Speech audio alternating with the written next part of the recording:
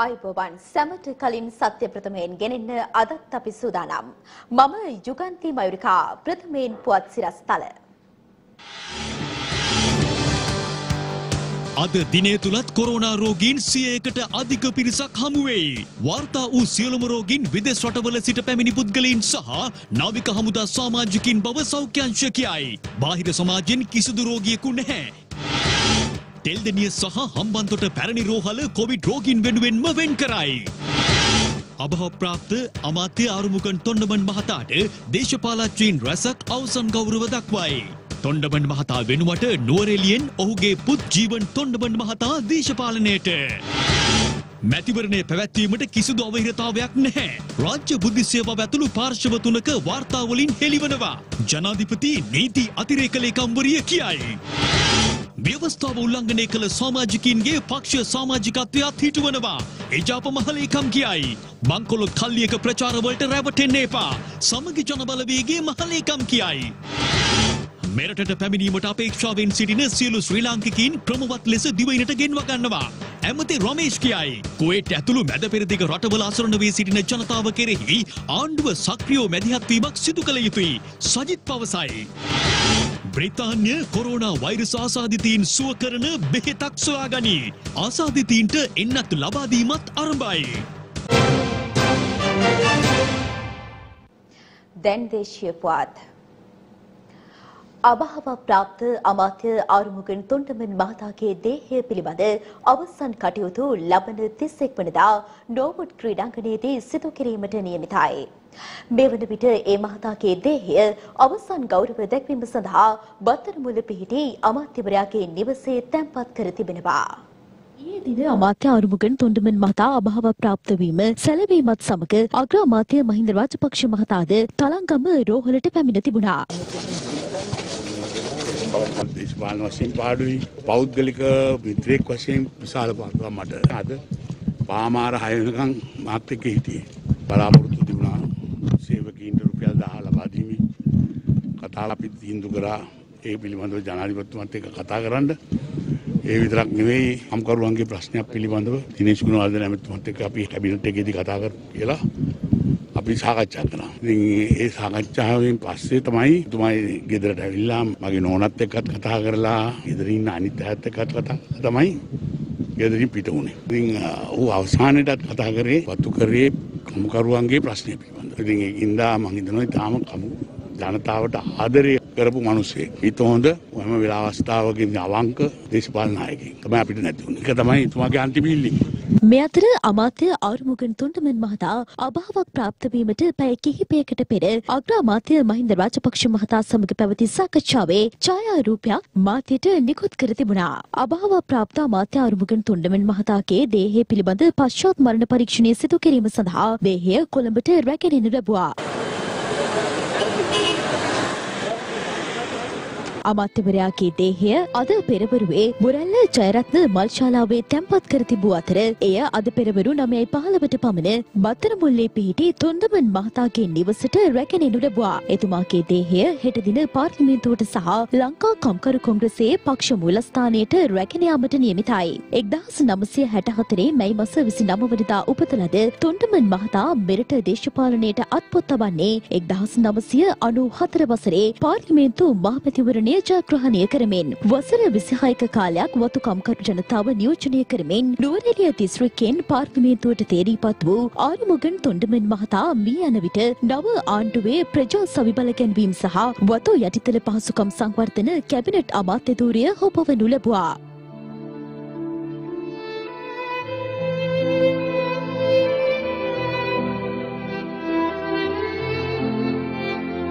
අභාව ප්‍රාප්ත ආරුමුගන් තුන්ඩමන් මහතාගේ දේහයට අවසන් ගෞරව දැක්වීම සඳහා දේශපාලඥයන් රැසක් අද දිනේදී ඒ මහතාගේ නිවස වෙත පැමිණ තිබුණා.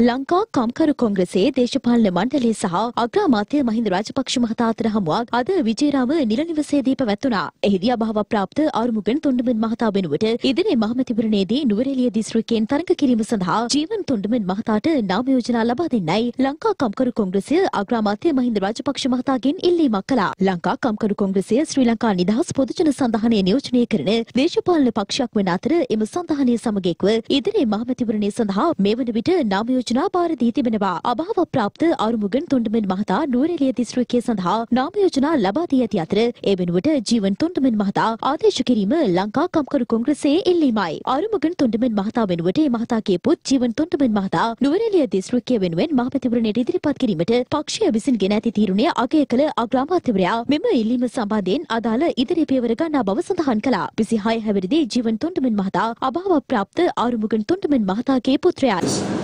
තීන්දුව තාම නිවැරදි තීන්දුවක් වශයෙන් අවසාන රැසිමත් අගමැතිතුමත් එක්ක කරේ වතුකර ජනතාවගේ පඩි ප්‍රශ්නයි. ඒගොල්ලෝගේ ගෙවල් ප්‍රශ්න ගැන තමයි විශේෂම ඊ අවසාන සාකච්ඡා කරලා ගෙදරට ගිහිල්ලා පෑ දෙකෙන් එතුමා අපේ අත්තාලා ගියා. අපේ අගමැතිතුමා ඒ වෙලාවම ඉස්පිරිතාලට ඇවිල්ලා අපේ පක්ෂටත් එයාගේ පවුලටත් එතුමා ධෛර්ය කරලා ගියා. ඒ වගේම අද අපි පක්ෂේ රැස් වුණා රැස් වෙලා කොණ්ඩමණ ඇමතුමා නුවරඑළිය දිස්ත්‍රික්කයේ අපේක්ෂ විදියට හිටියා. මාගේ කුරපාඩුවට අපේ පක්ෂේ තීන්දුවක් කරා. අපේ නායකතුමාගේ පුතා ජීවන් තොණ්ඩමානුව එද ඒත තනතුරකට පත් කරන්න ඒ අපේ පක්ෂේ තීන්දුවක් කරලා අද අපි අගමැතිතුමාට ඒ ලිපියක් බාර දුන්නා. අද පස්වරුවේ COVID-19 ආසාදනය වූ නව රෝගීන් 134 දෙනෙකු හමුවීමත් සමග මේ මොහොත වන විට මෙරටින් වාර්තා වන සමස්ත ආසාදිතයන් සංඛ්‍යාව 1453ක් දක්වා ඉහළ ගොස් තිබෙනවා. හමු වූ රෝගීන් අතරින් 81 දෙනෙකු විදෙස්ගතව සිට පැමිණි පුද්ගලයන් වන අතර 53 දෙනෙකු නාවික හමුදා සමාජිකයන්. කොරෝනා වෛරසය ආසාදිත රෝගීන් 134 දෙනෙකු අද පස්වරුවේදී මෙරටින් වාර්තා වුණා. ඒ අද පස්වරුවේ නාවික හමුදා සමාජිකයන් 53 දෙනෙකුට සහ විදෙස්ගතව සිට මෙරටට පැමිණි තවත් පුද්ගලයන් 81 දෙනෙකුට කොරෝනා වෛරසය ආසාදනය වී ඇති බවට තහවුරු වීමත් සමගයි. ඒ අනුව මෙරටින් COVID-19 වෛරස ආසාදිත පුද්ගලයන් 1453 දෙනෙකු අද පස්වරුව වන විට වාර්තා වුණා. මේ වන විට මෙරටින් වාර්තා වූ මුළු කොරෝනා වෛරස ආසාදිතයන්ගෙන් 700 තිස් දෙදෙනෙකු සුවය ලබා රෝහල් වලින් පිටව ගොස් තිබෙනවා. එසේම මේ වන විට කොරෝනා වෛරස් ආසාදිත රෝගීන් 629 දෙනෙකු රෝහල්ගතව ප්‍රතිකාර ලබමින් සිටිනවා. මෙරටින් එක් දිනක් තුළ හඳුනාගත් වැඩිම COVID-19 වෛරස් ආසාදිතයන් සංඛ්‍යාව ඊයේ දිනෙන් වාර්තා වුණා. ඒ ඊයේ දින තුළ පමණක් වෛරස් ආසාදිතයන් 137 දෙනෙකු හඳුනා ගැනීමත් සමගයි. ඊයේ දිනේ සිදු කරන ලද PCR පරීක්ෂණ ගණන 1146ක්. මෙම රෝගීන්ගෙන් 227 දෙනෙකු කුවේට් සිට පැමිණ නිරෝධායනයට ලක්වමින් සිටි පිරිසක් වන අතර අනෙක් රෝගීන් දස දෙනා නාවික හමුදා සමාජිකයන්. මේ අතර අදාළුවම පහයි හතලිස් පහට UL දෙසිය දහට දරන ගුවන් යානයෙන් දෝහස් සිට විදෙස්ගත ශ්‍රමිකයන් සහ ශිෂ්‍යයන් දෙසිය හැත්ත දෙකක් දිවයිනට පැමිණියා.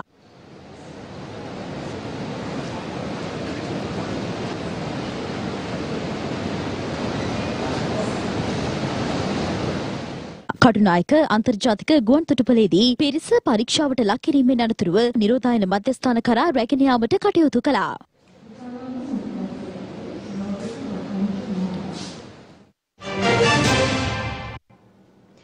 කොරෝනා වෛරසය ආස්ථාදිතයන් හට ප්‍රතිකාර කිරීම සඳහා තෙල්ටිනිය රෝහල සහ හම්බන්තොට පැරණි රෝහල යොදා ගන්නා බව සෞඛ්‍ය සේවා අධ්‍යක්ෂක ජෙනරාල් විශේෂඥ වෛද්‍ය අනිල් ජාසිංහ මහතා පවසනවා.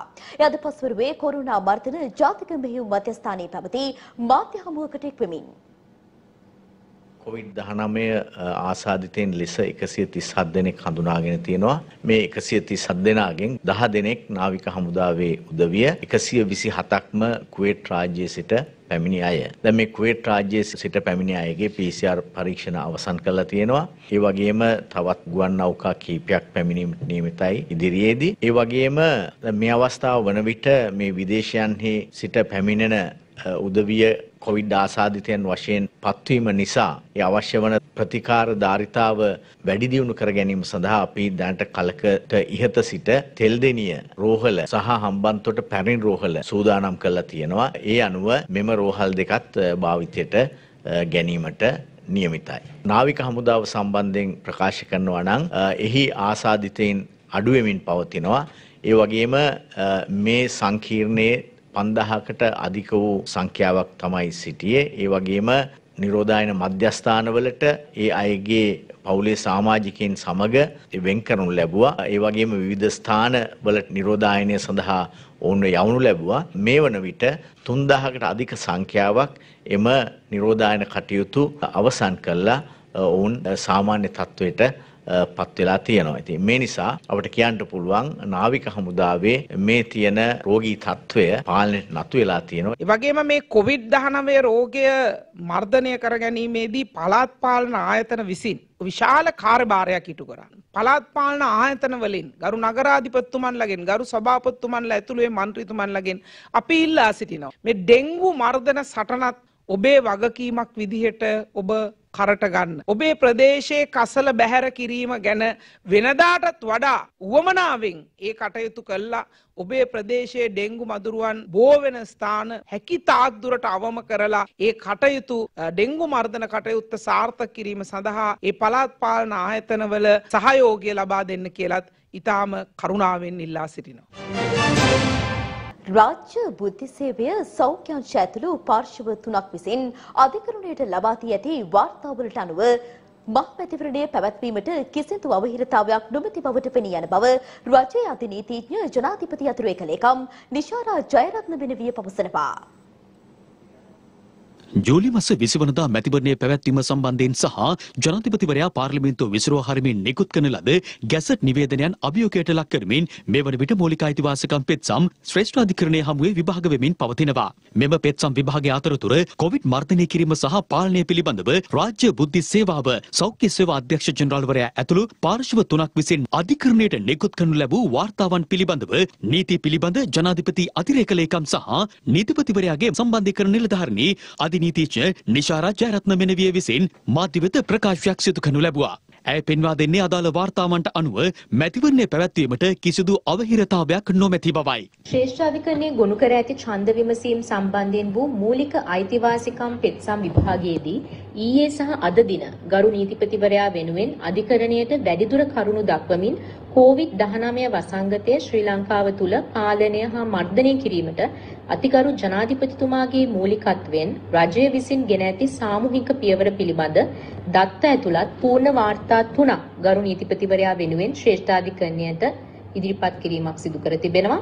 ඒ අනුව රාජ්‍ය බුද්ධි සේවා විසින් පිළියෙල කරන ලද සම්පූර්ණ වාර්තාවේ දැක්වෙන ප්‍රධාන කාරණය වන්නේ අප්‍රේල් මාස 30 වන දිනෙන් පසුව රට පුරා කොවිඩ් වසංගතය පැතිරීම නාවික හමුදාවට අදාළ පොකුර සහ නිරෝධායන මධ්‍යස්ථාන වලින් සහ රෝහල් වලින් බැහැරව කිසිදු කොවිඩ් ආසාදිතයෙකු වාර්තා වී නොමැති බවයි. සෞඛ්‍ය සේවා අධ්‍යක්ෂ ජනරාල් වෛද්‍ය අනිල් ජාසිංහ මහතා විසින් මැයි මාස 20 වන දින ජනාධිපති ලේකම්වරයා වෙත යොමු කරන ලද ලිපිය සම්බන්ධයෙන් කරුණු ශ්‍රේෂ්ඨාධිකරණයට ඉදිරිපත් කිරීමක් සිදු කර තිබෙනවා. එම කරුණු ප්‍රකාරව මෙම COVID-19 වසංගත රෝගී තත්ත්වය ශ්‍රී ලංකාව තුළ සාර්ථකව පාලනය කර ඇති බවත් දැනට පවතින තත්ත්වය අනුව ආසාදිතයින් ගණන සහ මරණ සංඛ්‍යාව අවම සංඛ්‍යාවක පවතින බවත් ඒ අනුව සෞඛ්‍ය වෛද්‍ය නිර්දේශයන් හා සමාජ දුරස්ථභාවය රැකගනිමින් ඡන්දය පැවැත්වීමට අදාළ මාර්ගෝපදේශයන් ලබා දිය හැකි බවත් ඡන්දය පැවැත්වීමට අදාළ ඉදිරි ක්‍රියාවලිය සිදු කිරීමට කිසිදු බාධාවක් නොමැති බවට සෞඛ්‍ය සේවා අධ්‍යක්ෂ ජනරාල් වෛද්‍ය අනිල් ජාසිංහ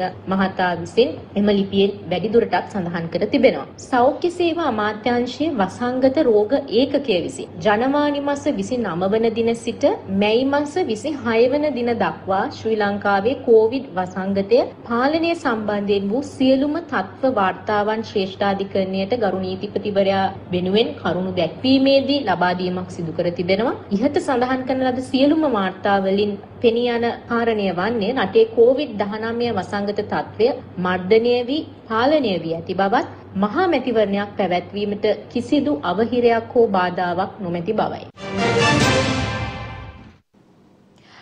මේ අතර මහමැතිවරණය පැවැත්වීම අභියෝගයට ලක් කරමින් ඉදිරිපත් වී ඇති පෙත්සම් අද 7 වන දිනටත් සලකා බැලුණා.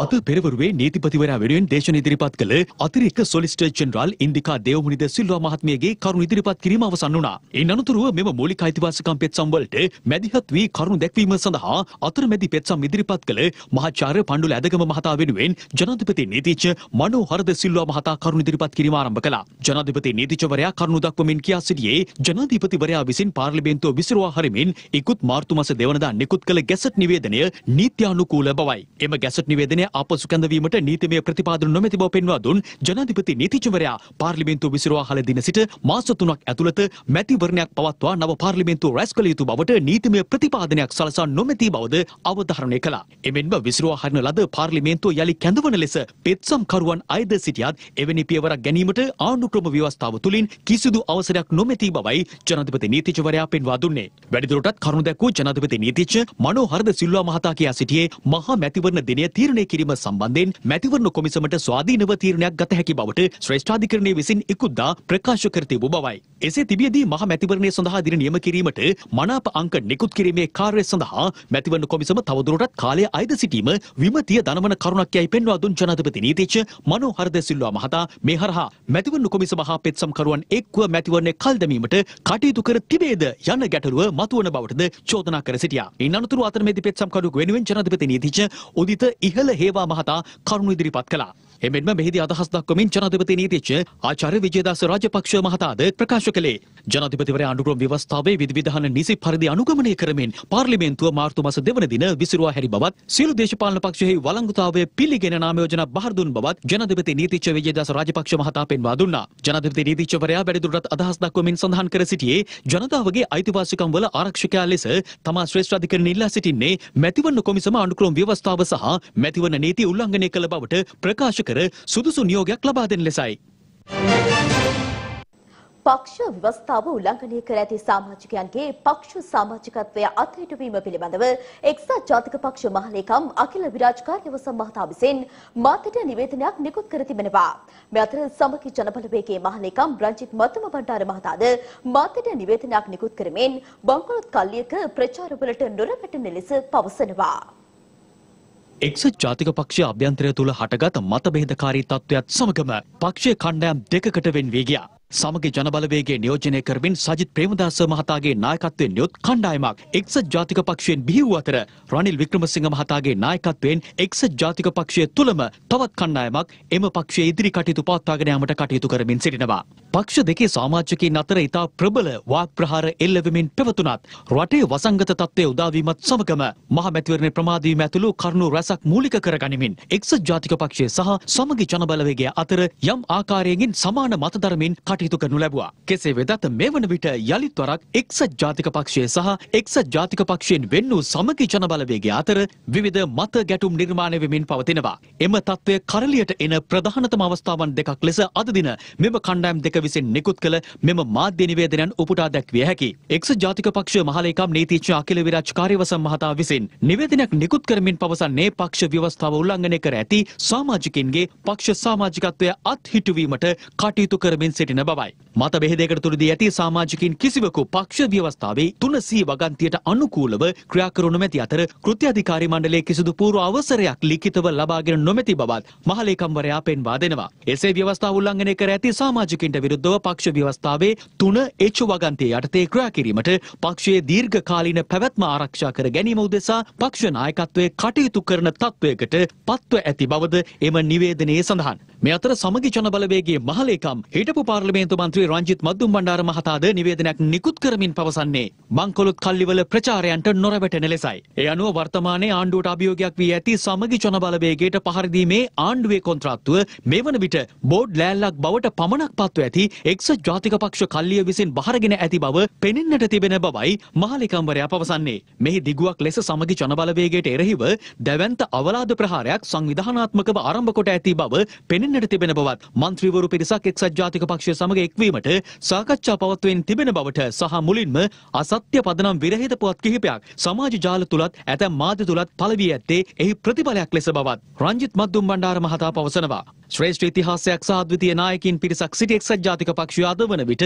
මෙතරම් බංකොලොත් ව්‍යාජ පුවත් වලින් යැපෙන මට්ටමට පහළට ඇද වැටීම සංවේගයට කරුණක් බවත් පවසන රංජිත් මද්දුම් බණ්ඩාර මහතා සමගි ජන බලවේගයේ පිරිසක් එහෙට යනවාද එහි පිරිසක් සමගි ජන බලවේගයේ වෙතට එනවාද යන්න ඊතා නුදුරේදීම දැකගත හැකි වන බවත් මානසික වින්දනයක් උදෙසා ඔවුන් කරන මේ ව්‍යාජ රඟ දැක්වීම කෙරෙහි අනුකම්පා කරන බවත් සමගි ජන බලවේගයේ මහලේකම් රංජනයේ දැක්වෙනවා ශ්‍රී ලංකාවේ ඉන්දිය මහ කොමසාරිස්වරයා සහ අග්‍රාමාත්‍ය මහින්ද රාජපක්ෂ මහතා අතර හමුවක් අද පෙරපුරුවේ අරලියගහ මන්දිරයේදී පැවැත්වුණා. නව මහකමසාරිස් ගෝපාල් බාල්ගේ මහතා සහ අග්‍රාමාත්‍ය මහින්ද රාජපක්ෂ මහතා අතර හමුවක් අද පෙරවරුවේ අරලියගහ මන්දිරයේදී පැවැත්වුණා. එහිදී දෙරට අතර දීපාර්ශවීය ආර්ථික සමගතාවය වැඩි දියුණු කර ගැනීම සම්බන්ධයෙන් අවධානය යොමු කරනු ලැබුවා. ඉන්දිය මහකමසාරිස්වරයා මෙහිදී සඳහන් කළේ COVID-19 වසංගත තත්ත්වය හමුවේ ශ්‍රී ලංකාව ගෙන යන වැඩපිළිවෙල පිළිබඳව ඉන්දිය රජය සහ ඉන්දිය අග්‍රාමාත්‍ය නරේන්ද්‍ර මෝදි මහතාගේ පැසසුම ජනාධිපතිවරයාට සහ අග්‍රාමාත්‍යවරයාට හිමි වන බවයි. ශ්‍රී ලංකාවේ සහ ඉන්දියාවේ ආගමික සම්බන්ධතාවයන් සම්බන්ධයෙන්ද මෙම හමුවේදී වැඩි අවධානයක් යොමු කරනු අතර අග්‍රාමාත්‍ය මහින්ද රාජපක්ෂ මහතා සඳහන් කළේ ඉන්දියාවේ කෞතුකාගාරවල තැන්පත් කර ඇති බුදුරජාණන් වහන්සේගේ ධාතුන් වහන්සේලා බෞද්ධ සිද්ධස්ථාන වෙත යොමු කරන්නේ නම් ලෝකවාසී බෞද්ධයන්ට ධාතුන් වහන්සේලා වැඳ පුදා ගැනීමටත් එම ධාතුන් වහන්සේලාට පුද සත්කාර කිරීමටත් අවස්ථාව හිමි වන බවයි. පවතින COVID-19 වසංගත තත්ත්වය හමුවේ ඉදිරියේදී ඇතිවන ආර්ථික අවපාතයට සහ ආර්ථික ගැටලු සම්බන්ධයෙන් ඉන්දියාව සහ ශ්‍රී ලංකාව අතර ඉතා හොඳ අවබෝධයක් සහ එකඟතාවයකින් කටයුතු කිරීමට මෙහිදී දෙපාර්ශ්වය අවධානය යොමු කරනු ලැබුවා. කුවේට් ඇතුළු මැද පෙරදිග රටවල අසරණ වී සිටින ජනතාව කෙරෙහි ආණ්ඩුව සක්‍රියව මැදිහත් වීමක් සිදු කළ යුතු බව සමගි ජනබලවේගයේ නායක සජිත් ප්‍රේමදාස මහතා පවසනවා.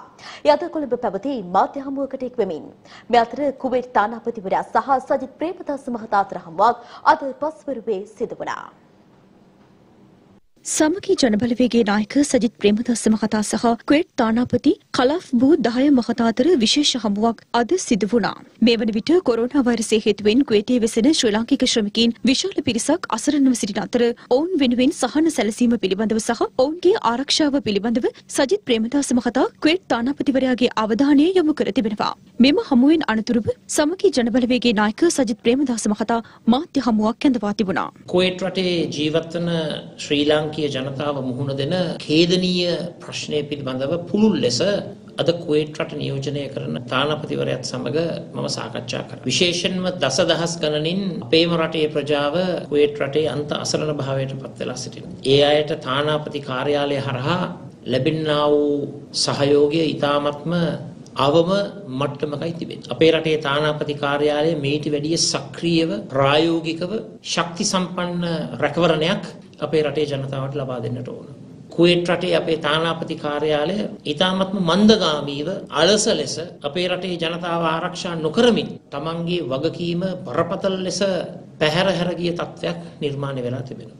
මේ රට මේ තරම්වත් ඉදිරියට යන්නේ අපේ විදේශීය කම්කරු ප්‍රජාව දහඩිය කඳුල දුක වේදනාව නොතකා තමන්ගේ ශ්‍රමය උපයෝගී කරගෙන අපේ රටට එවන විදේශ ප්‍රේෂණ නිසා සිදුවේ යුත්තේ නින්දට ගිය තානාපති කාර්යාලය අවදි කරවන්න. වහලා තිබෙන තානාපති කාර්යාල විවෘත කරන්න. ඒ ප්‍රශ්නවලට සක්‍රිය විසඳුම් ලබා දෙන්නට කටයුතු කරන්න. අපේ රටේ ජනතාවට ඉටු යුතු සේවාව ඉෂ්ට කරන්න.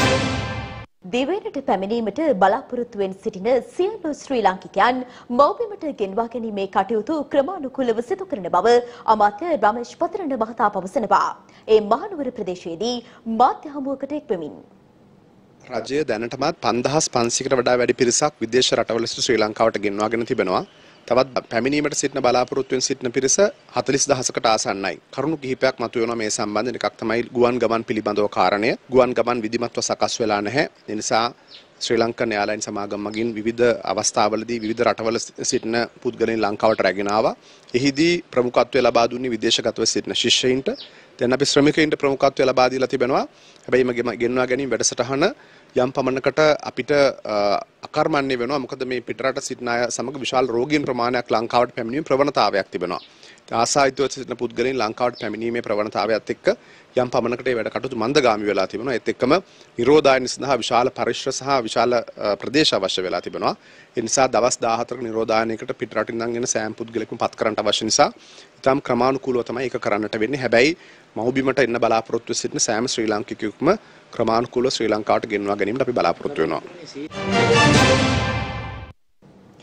මැද පෙරදිග ඇතුළු විදෙස් රටවල සිටින මෙරට ශ්‍රමිකයන් දෙවයිනට ගෙන්වා ගැනීමේ වැඩපිළිවෙල සම්බන්ධයෙන් ආණ්ඩුව මෙන්ම විපක්ෂයේද වැඩි අවධානයක් යොමු කළ යුතු බව හිටපු පාර්ලිමේන්තු මන්ත්‍රී අර්ජුන රණතුංග මහතා පවසනවා.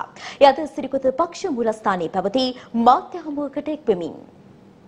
මම පෞද්ගලිකව හිතන්නේ පාර්ලිමේන්තුව කැඳවීම සහ මැතිවරණයට වඩා මේ කොරෝනා වසංගතය හරහා මැතිවරණයක් ගියොත් මේක මැතිවරණයක් ගියොත් රටේ අපේ මනුස්ස ජීවිත කීයක් නැති වෙයිද? මේවා කොච්චර දුරට යයිද කියන එක තමයි ප්‍රශ්න වෙන්නේ. මේ වගකීම කවුද ගන්නෙ? මේ මගකීම ගන්න ඕනේ සෞඛ්‍ය අධ්‍යක්ෂක ජෙනරල්තුමා. එතුමා කියන්න ඕනේ මේ මැතිවරණයකට යන්න පුළුවන්. මේ මැතිවරණයකට ගියා කියලා මේ කොවිඩ් වසංගතය බෝ වෙන්නේ නැහැ. කවුරුත් මැරෙන්නේ නැහැ කියලා ඒ කොළ එළිය අපිට ලබලා දුන්නොත් මං හිතන්නේ මැතිවරණ කොමිසමත් සාමාන්‍යයෙන් දෙන්න ඕනේ දින දින කාල සීමාවක් දෙන්න ඕනේ මැතිවරණය කටයුතු සඳහා ඒ වැඩ කොටස කරන්න ඊට පස්සේ මැතිවරණයකට යන්න පුළුවන්. අද වෙනකොට මේ මැද පෙරදිග සහ අනිකුත් රටවල් වල හිර වෙලා ඉන්නවා. ඒගොල්ලන්ට රැකියාවල් නැති වෙලා තියෙනවා.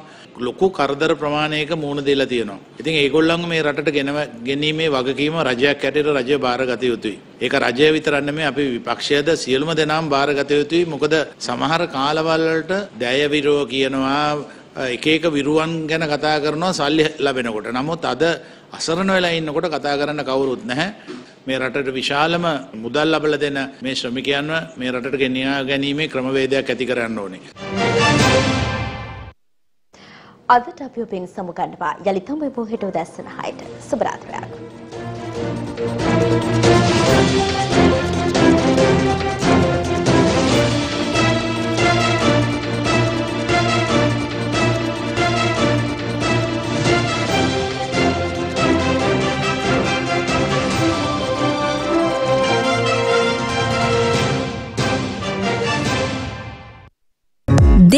අලුත් වීඩියෝ සහ ප්‍රවෘත්ති නැරඹීමට ඉහත බටන එක ක්ලික් කර සියත TV සබස්ක්‍රයිබ් කරන්න.